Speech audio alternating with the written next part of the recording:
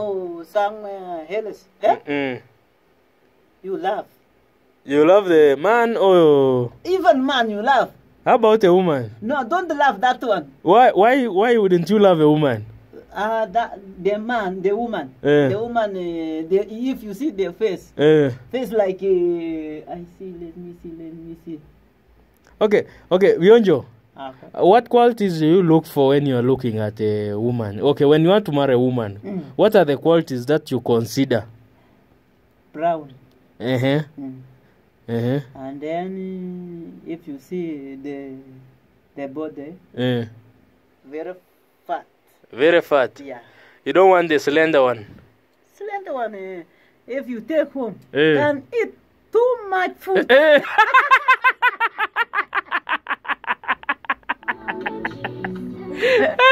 How about those ones who have tall fingernails? oh, that one. Eh. Eh, eh, eh. Eh. Including that one. Eh. Having the tall fingers. Eh. Yeah. So, what advice do you give to people who want who are looking for partners? People who are okay, someone who is probably looking for a wife.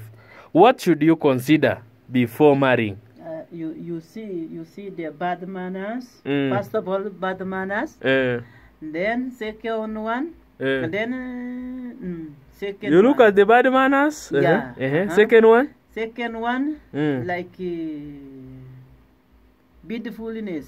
Uh, Uh, how beautiful. Yeah, how beautiful. Uh, And then how very fat.